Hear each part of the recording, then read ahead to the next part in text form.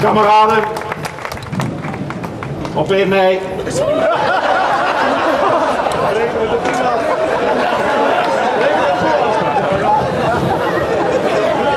De kracht van het socialisme, dames en heren.